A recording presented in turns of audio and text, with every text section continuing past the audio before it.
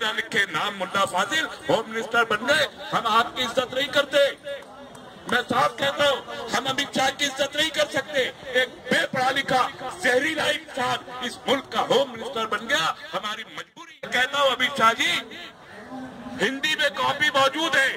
English میں تو آپ کا ہاتھ یقیناً بہت تنگ ہوگا، میں جانتا ہوں۔ انگلیش میں نہیں پڑھ پائے گا آپ کانسٹیٹیوشن آف انڈیا اتنے پڑھے لکھے نہیں ہیں آپ۔ مگر ہندی میں موجود ہے۔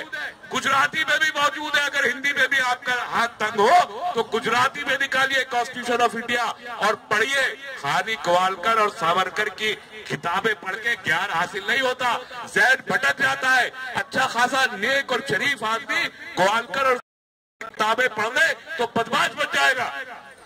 وہی بن گیا ہے ابھی۔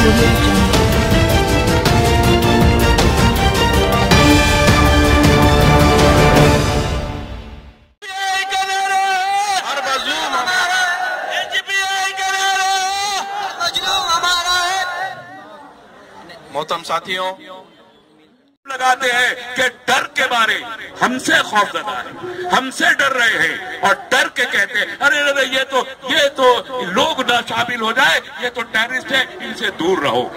ٹیررسٹ ایسے ہوتے ہیں جیسے مجمع پورا بن بیٹھا ہے۔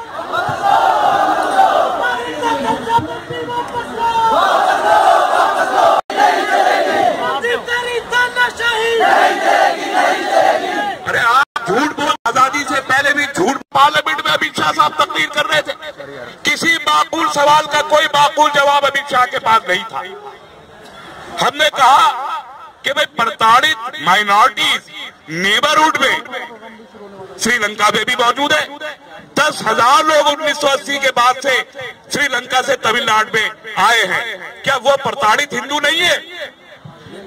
میانمار بالکل ہماری سرحد ملی بھی ہے سب کے ساتھ۔ وہاں پر بھی ہندو مائنورٹی ہے۔ کی۔ ایک ایک قبر میں دو دو سو ہندووں کی لاشیں دفن کی گئی وہاں کے بدھسٹ اور وہاں کے آرمی نے مار کے ان کو وہاں گاڑا۔ وہ برامد ہوئی وہاں پر قبریں۔ کیا وہ پرتاڑت نہیں ہے؟ تو آپ کو سری لنکا اور آپ کو میانمار میں پرتاڑت ہندو کیوں نہیں دکھائی دیتا؟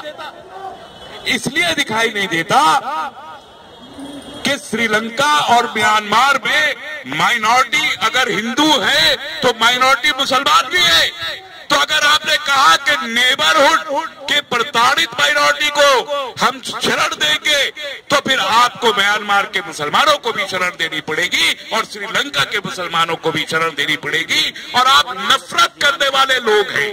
آپ کے دلوں میں نفرت ہے، اس لیے آپ نے سری لنکا کو اور میان مار کو اس میں شریک نہیں کیا۔ اور پارلیمنٹ میں جب آپ جواب دینے کھڑے ہوئے، تو صرف اتنا کہہ پائے حمید شاہ کہ اسپیشل سرکمسٹانسز کے تحت بدلا جاتا ہے سٹیزنشپ ہے اور یہ بھی وہ اب وہ کون سے اسپیشل سرکمسٹانسز ہیں؟ اس کا کوئی جواب میں آپ سے کہتا ہوں، میں پورے یقین سے کہتا ہوں، اگر میں پارلیمنٹ میں کل موجود ہوتا تو جو پچیس منٹ تک امت شاہ کھڑے ہو کے بولنے ہیں، ان کو ڈھائی گھنٹے لگ جاتے، اتنے اعتراضات میں امت شاہ کی تقریر پہ کر سکتا تھا بھاری ہو جاتا، یا تو سنسد چھوڑ کے یا بل واپس دے لیتے، ان کے پاس جواب ہوتا۔ اتفاق یہ ہے کہ مافیا کو بڑے شریف قسم کے لوگ جو جب جو سوال کرنا نہیں جانتے ارے میں کہتا ہوں ابھی شاہ جی ہندی میں کاپی موجود ہے۔ انگلش میں تو آپ کا ہاتھ یقیناً بہت تنگ ہوگا، میں جانتا ہوں۔ انگلش میں نہیں پڑھ پائے گے آپ کانسٹیٹیوشن آف انڈیا اتنے پڑھے لکھے نہیں ہیں آپ۔ مگر ہندی میں موجود ہے۔ گجراتی میں بھی موجود ہے۔ اگر ہندی میں بھی آپ کا ہاتھ تنگ ہو، تو گجراتی میں نکالیے کانسٹیٹیوشن آف انڈیا اور پڑھیے۔ خانی گوالکر اور کی کتابیں پڑھ کے گیان حاصل نہیں ہوتا، زید بھٹک جاتا ہے۔ اچھا خاصا نیک اور شریف آدمی گوالکر اور ساورکر کی کتابیں پڑھ لے تو بدماش بچ جائے گا۔ وہی بن گیا آپ بھی آپ کانسٹیٹیوشن آف انڈیا کو پڑھیں۔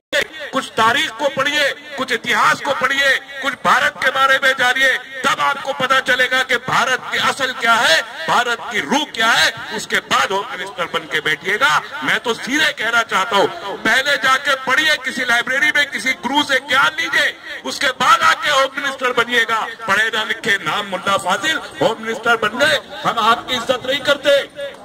میں صاف کہتا ہوں، ہم امت شاہ کی عزت نہیں کرتے۔ پڑھا لکھا زہریلا انسان اس ملک کا ہوم منسٹر بن گیا۔ ہماری مجبوری یہ ہے کہ ہوم منسٹر کی جو چیئر ہے جو پرائم منسٹر کی چیئر ہے ہمیں اس کی عزت کرنی پڑتی ہے۔ وہ دستوری طور پر ہمارا فرض ہے کہ ہم پردھان منتری کی عزت کریں ہم ہوم منسٹر کی عزت کریں۔ لیکن ہم ان ان, پدوں کی قریبہ کی عزت تو ضرور کریں گے۔